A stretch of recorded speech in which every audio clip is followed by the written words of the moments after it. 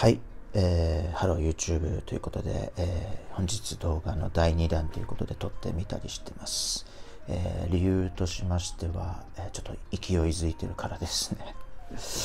えっとですね、でですね、あ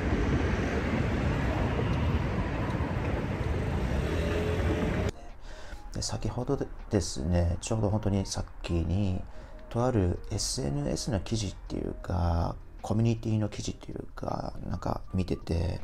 おじいちゃんになれなくて困ってますみたいなことが書かれてまして、え、それどういうことかと言いますと多分この方が、えー、子供たちも大きくなって就職もしました。でもしかしなぜか結婚を考えてません。そして付き合ってもいません。なんでなんですかみたいな。誰か、えー、私に教えてください。今の若い世代たち、何を考えてるんですか？なぜ結婚のことを考えず、パートナー、恋人、彼氏、彼女ですら作らないのであろうか？私はわからない。みたいな多分ことですね。うん、それを書いてて、ちょっと面白いなって思って、なるほど、なるほど。でね自分の見解としてはやっぱりそれ時代の変化とともに価値観の変化っていうところだと思ってるんですよね。うん、いろいろねこれまで昭和平成令和とやってきて結婚っていう概念をやってみた結果ね大体その3分の1ぐらいが離婚してると。でシングルマザーでもシングルファザーでも、まあ、僕の周り友達友達でもいるんですけどえまた結婚するとか考えたりするのっつったらいやもう結婚はいいわみたいな感じでなってたりするんですよね事実ね。うん、ほんでですねそう見越した時にまあいろいろ昨今のね、えーまあ、人口削減とかっていう作戦とかもね、えー、やってたりっていうするその何て言うかなちょっと話が路線変わりそうなんですけど。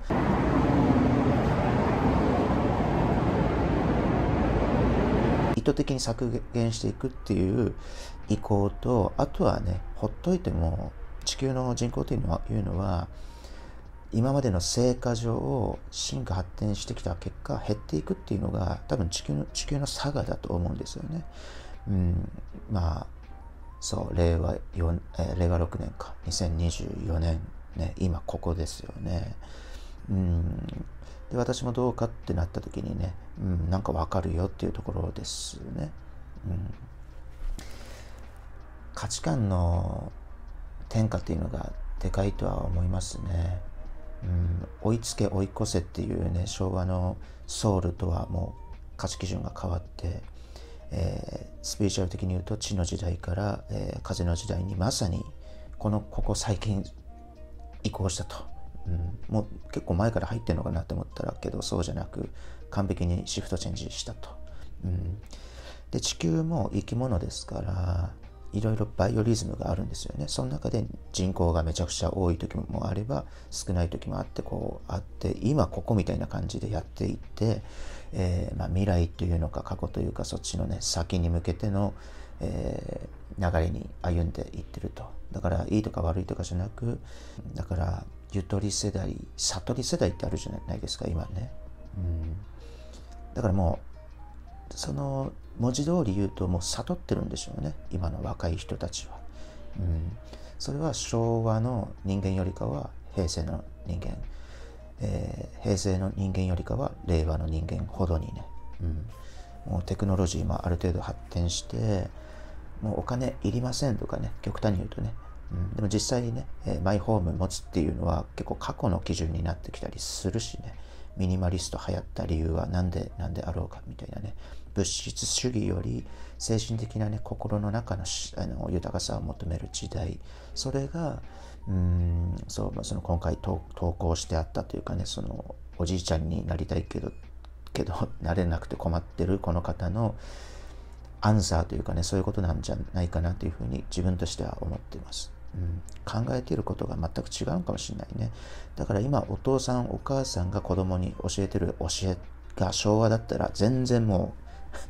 噛み合ってないっていうところだと思うし子供からしたらきついですよね。そんなことをもう理解できないというかうんそうだねつながり合えないというかね。だから合わすべきは子供の価値観今の時代に合わせるっていうのが、うんまあ、諸行無常というかこの川の流れで例えるんであればそれこそその流れに沿わずに流れに、うん、慕った、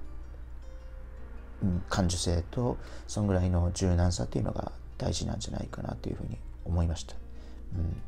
時代が進化成長してるから今のこの価値観とこの現実は作られていると思います。人口は減っていくと。